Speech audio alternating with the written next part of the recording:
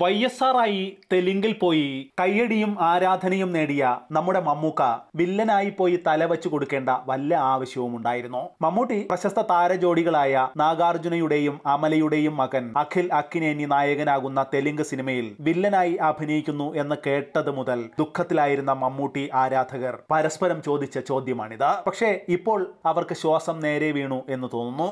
ഏജന്റിന്റെ teaser പുറത്തിറങ്ങുമ്പോൾ മമ്മൂട്ടിയുടെ രംഗങ്ങൾ കണ്ട് ആവേശത്തിലാണ് പ്രേക്ഷകർ. മഹാദേവൻ എന്ന ആർമി ഓഫീസറായി മമ്മൂട്ടി നിറഞ്ഞു നിൽക്കുന്നു. പാട്ടും ഫൈറ്റും ഒക്കെ പടത്തിലെ നായകൻ അഖിൽ അക്നേനിക്കുണ്ടെങ്കിലും വില്ലൻ റോളിലല്ല മമ്മൂട്ടി എന്നും സിനിമ ഒരു കള്ളനും പോലീസും കളിയാണെന്നും ഏതാണ്ട് ഉറപ്പിക്കാം. തെലുങ്കിലെ ഒരു മാസ് മസാല എന്ന വിധം വിലയിരുത്താവുന്ന ചിത്രത്തിൽ നിരവധി സംഘർഷ രംഗങ്ങൾ മമ്മൂട്ടിക്കുണ്ടെന്നാണ് വാർത്ത. നായകനുമായി കട്ടയ്ക്ക് അടിച്ചു നിൽക്കുന്ന വേഷം. ക്ലൈമാക്സിൽ കൊല്ലപ്പെടുന്ന പതിവ് പരിപാടികളൊന്നുമില്ല. ചങ്കൂറ്റവും കരുത്തുമുള്ള പട്ടാള ഓഫീസറായി ആദ്യവസാനം മമ്മൂട്ടി നിറഞ്ഞു നിൽക്കും എന്നാണ് വാർത്ത.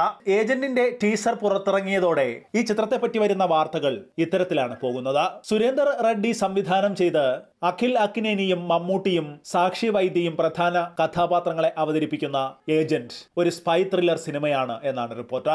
ടീസർ പുറത്തിറങ്ങിയെങ്കിലും സിനിമ എന്ന് റിലീസാകുമെന്ന കാര്യത്തിൽ ഇപ്പോഴും അനിശ്ചിതത്വം തുടരുകയാണ്. തെലുങ്കിന് പുറമെ ഹിന്ദിയിലും തമിഴിലും മലയാളത്തിലും കന്നഡത്തിലുമായി മൊഴിമാറ്റിയ പതിപ്പുകളും ഒന്നിച്ച് വേൾഡ് വൈഡായി റിലീസിനെത്തുമെന്നാണ് റിപ്പോർട്ട്. കരിയറിലെ തന്നെ ഏറ്റവും ഉയർന്ന തുകയാണ് ഈ ചിത്രത്തിൽ അഭിനയിക്കാൻ മമ്മൂട്ടി വാങ്ങിയത് എന്നാണ് നേരത്തെ വന്ന അഭ്യൂഹങ്ങൾ. ഈ വിഷയത്തെക്കുറിച്ച് നിങ്ങൾക്കും പ്രതികരിക്കാം. നിങ്ങളുടെ കമന്റുകൾ ഈ വീഡിയോയ്ക്ക് താഴെ രേഖപ്പെടുത്തൂ.